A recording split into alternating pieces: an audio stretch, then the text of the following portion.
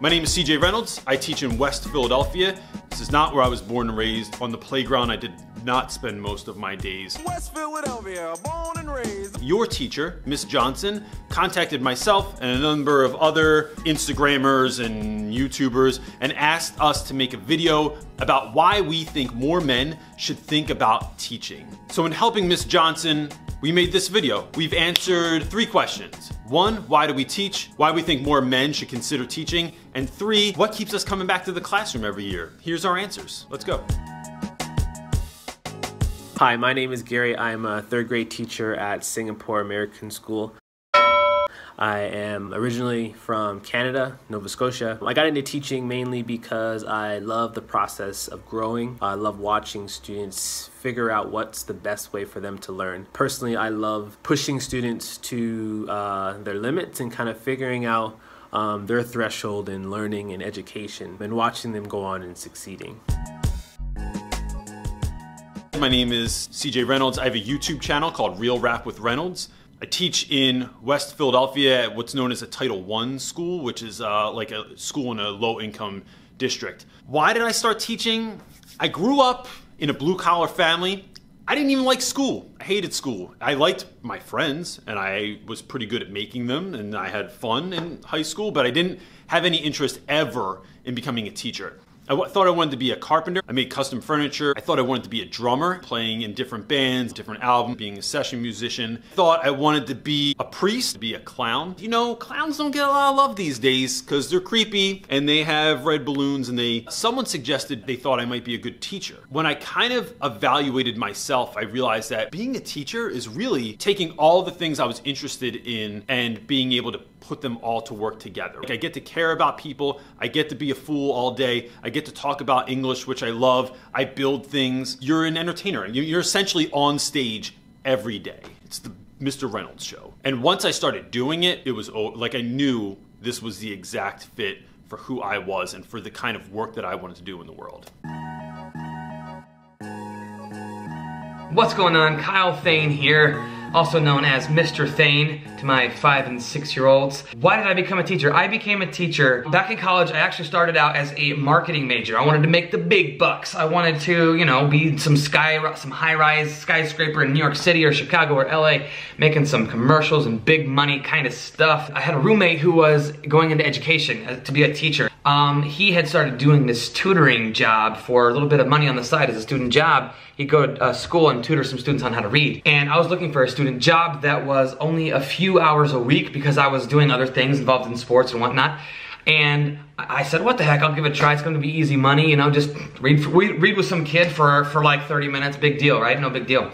And so I, I did that and I absolutely fell in love with helping kids. The joy that I got from, from helping him and interacting with students and like seeing, wow, this is kind of fun. I, I kind of like this. That's what sparked everything. And I did some um, observations of other teachers. I went to a couple different schools and sat in on some rooms and I never looked back. If I'm gonna spend 40, 50 years of my life working somewhere, going to a place and doing a thing every day, I might as well have fun while I'm doing it. I might as well get to enjoy sort of almost staying a kid forever, getting to have fun in the classroom even when my students aren't there. Ron James.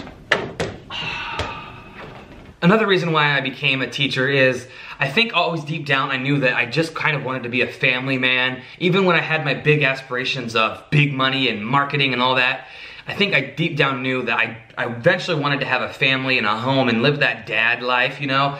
And teaching is a great career path for, for future dads because not only are do you work during the day, normal day job hours, um, minus having to bring stuff home from time to time, you also get holidays off, you get summer off, snow days, and it's a really good profession to have children with because you, you you're around. And I know I always wanted to be a stable presence in my kids' lives when I have kids, and I thought hey, the idea of doing something that's fun, that I love, that I feel like I'm doing something that matters for the common good, and there's other perks like having days off, uh, having summers off, and being around for my future children and family, I, it just, it added up and it, it just seemed perfect.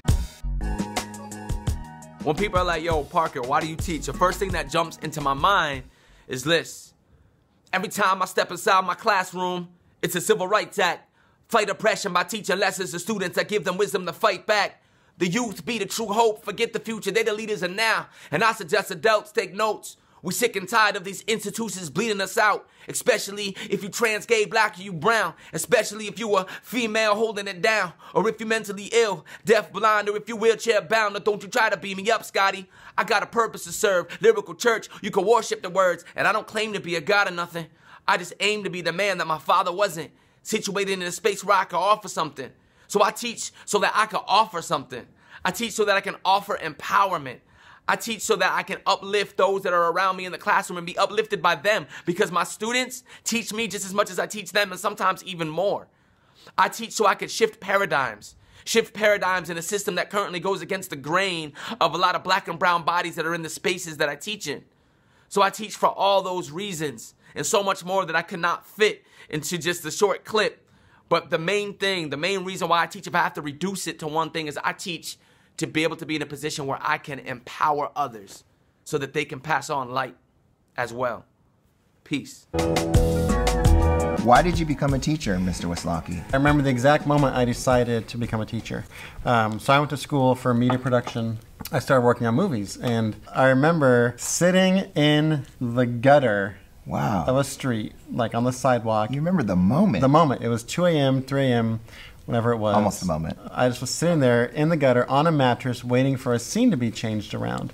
And um, I thought, man, I am not helping anybody here. like in the larger scheme. In the of larger things. scheme of life, I am not having an impact wow. on anything. That's profound. so that was the moment I decided to become a teacher. I have always wanted to be a teacher. It all it came full circle for me. I chose elementary school. For me, it was my kids. My kids were in mm. elementary school at the time. I just really I I loved helping out in their classrooms, and I loved that age. And I was looking around and like, man, there's no male teachers. Mm. There's like I've been to schools where there are literally no mm. Yeah. male teachers in them, and I thought, you know, these kids need to have that male role model in their life. Uh, one of the main reasons why I believe it is very, very important for young men um, to get into education, um, specifically, I talk mainly about elementary, is because it is very, very important for males to see that it is okay that males are teachers. I remember when I was in school, I only had maybe four or five male teachers, and I didn't really notice the impact of it until today. And watching some of my students um, really be able to gravitate towards me or gravitate towards someone that kind of looks like them and how it actually encourages them to learn even more. It's very important that um, we as young men um, take education very seriously and teaching as a very serious profession. Why I think more dudes should be teachers. If you think about it, I teach in a school where most of my guys don't have fathers that are around, right? And so I grew up in a house where my dad died when I was four.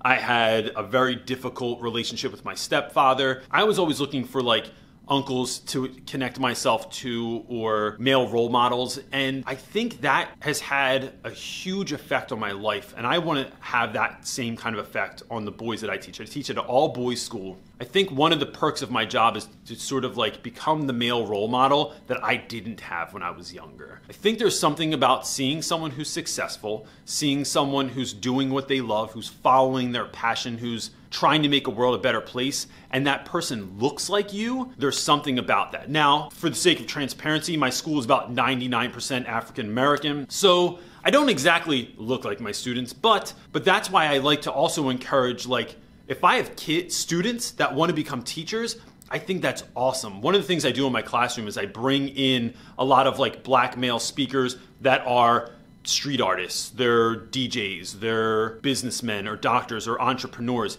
Because what I want to do is bring people in front of my students that look like them, that have maybe had the same background as them. Because when you can do that, it reminds you that you could do it also. That if this guy's doing it, if he got out of this situation that I'm in, then what's stopping me from doing that also? My boys, my boys, my boys, my boys. So why is it important for my boys, for my males, to get involved in this this art of teaching? Um, I like to call it an art more so than just a profession. Like this art, it's an art. Basically, because we are we are like limited in the space. There's not enough male influence.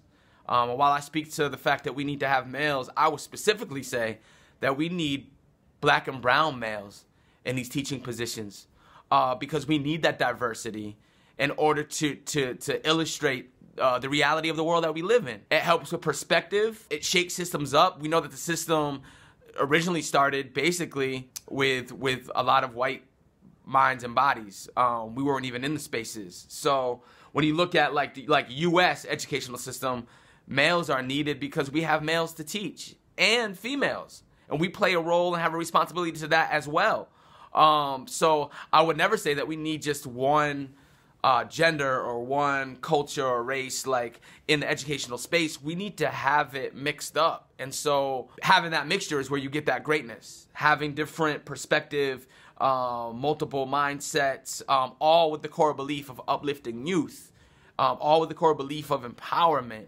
Um, all working in that direction of greatness. We need males in that spaces to be a part of that. We need to see more of them as much as we love women teachers, like they need mm-hmm. some kind of male influence in their life. Yeah, absolutely. When I was in a two, three, four special ed combo, best teacher two, three, four, best year of my life education wise. For those kids, a lot of them didn't have any male influences at home. You know, this was just someone that could be a positive light for them and just kind of see that hey, here's how you do things, you know, as as a as a man, as a as a boy. Right. These kids need that role model they just they do.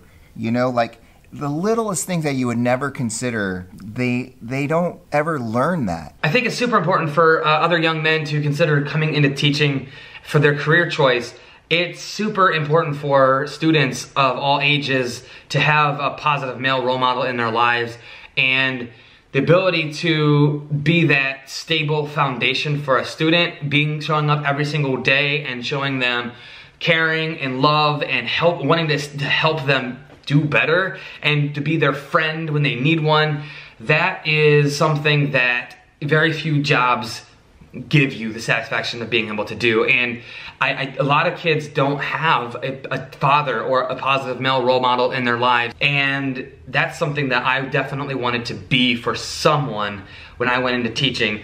And that I think is important. It's important to have diversity in schools. It's important to have different teachers of different races, different genders, different walks of life. So there's always, so students always have someone there in the building that looks like them and they can identify with, even if it's not their teacher, to be able to identify with. You might inspire some of your male students to eventually become teachers and then the domino effect and then there's male teachers everywhere. What brings me back to the classroom year after year? I would say um, the students, obviously.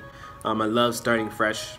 I love the idea of getting a group of students of trying to figure out how I'm going to teach them the dynamics and building that classroom community. That's something that really, really excites me every year. I also enjoy uh, professional development. Specifically this year, I've found that I've grown a lot just from my colleagues and my coaches around me. So I love learning and I love figuring out ways to better my profession. Honestly, just again, watching the students get better. What brings me back to the classroom year after year? It is 100% the relationships that I build with students. I think relationships are king. I think that lesson plans come second and kids come first. I work at a school where I have like complete autonomy of in my classroom. My I'm allowed to build anything I want. So from the tree that I have back here to the chalkboard paint on the walls to bulletin boards and couches and built-in bookshelves that I have back here to all, you know, I have giant boombox painted on my wall over there.